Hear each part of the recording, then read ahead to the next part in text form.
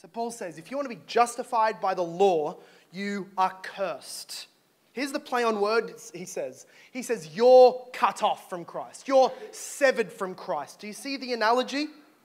He's saying, You think that you go up to the chopping block and say, Galatian pastor, heresy man, I, I want to join the club. I want to become holy. So chop off my foreskin then I will be holy, and that will be the accursed portion of the flesh. I mean, we've all read Deuteronomy. We know how this works. Don't look at me with those eyes. I just said the word. It's in the Bible. It's okay.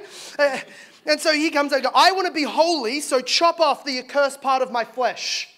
Paul says, Don't you see what happens? You walk up to that block, you get chopped off, you become the accursed part. You just got severed from Christ. Colossians, he calls the cross the circumcision of Jesus Christ, where he was cut off from God in our place. In Galatians 3, he says that Jesus was cursed in our place. Don't you see? If you get circumcised as a way to try and merit your way to heaven, you get cursed instead of Jesus. You become the cut off part, and you have no benefit in Christ. You've been circumcised away from his circumcision. You will suffer. You are accursed.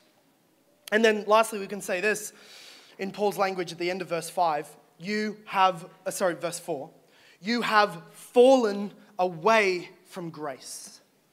And we shouldn't try and squeeze out of this a kind of theology that you can lose your salvation. He's saying that if you pursue works for the basis of your justification, then you can forget any idea that you ever were unified to Christ. Because that's not what a Christian does. Oh, I know the Galatians have been, have been tempted and they've been twisted and they've, they've been misled. But Paul is confident, which is what he says in the next few verses. I'm confident that since you're a genuine church, you won't follow this anymore. And if you do, then you're not a genuine church. You're not some of my disciples. As, as he said back in Galatians 4, I guess I labored over you in vain. You are still dead in your sins.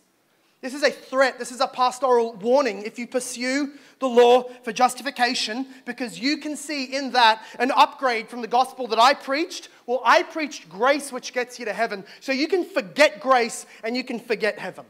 People want to mix the two. They want to say, I'll do the law, I'll do the works, and if there's any failure, God, just fill it up with grace. God says, No, I don't give grace through the law. If it's by the law, you must be perfect, no grace. Perfect, no mercy. Absolutely perfect. No mediation or no mitigation. Absolute. If you want grace, you get all grace.